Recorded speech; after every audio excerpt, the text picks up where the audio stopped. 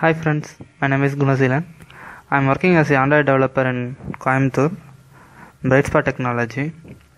நான் ஆக்சுவலாக ஆண்ட்ராய்ட் டுட்டோரியல்லாம் வந்துட்டு பிளாக் ஸ்பாட் அதில் பிளாகில் எழுதிக்கிட்டு இருந்தேன். V four all one two three அப்படின்னு போட்டு சர்ச் பண்ணி வரும். அதை பார்த்துட்டு ஃப்ரெண்ட்ஸ் சொன்னாங்க எஸ்பெஷலி பாலமுருகன் சொன்னான் வீடியோ டுட்டோரியல் போடலாம் மச்சான் யூடியூப்பில் நல்லாயிருக்கும் உன்னோட டுட்டோரியல் நல்லா இருக்குது அப்படின்னு சொல்லி சொன்னான். நல்லா இருக்குதுன்னு தான் நினைக்கிறேன் நானும்.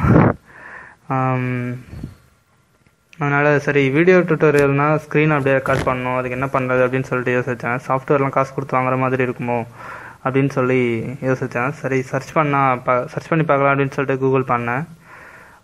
நிறைய சாஃப்ட்வேர் ஃப்ரீ சாஃப்ட்வேரே இருக்குது. ஈஸி விட் எஸ்பெஷலி ஈஸி விட் நான் இப்போது ஈஸி விட் தான் ஈஸி விட் தான் யூஸ் பண்ணி பண்ணலான்ட்டு இருக்கிறேன். இது ஒரு ஃப்ரீ சாஃப்ட்வேர் தான்.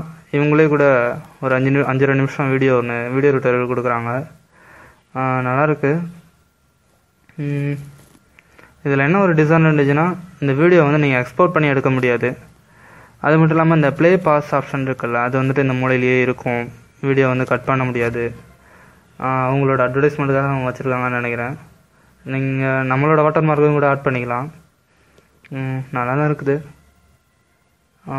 இதை வச்சு தான் நான் வீடியோ டுட்டோரியல் ரெடி பண்ண போகிறேன் உங்களுக்கும் பிடிக்கும்னு நினைக்கிறேன்.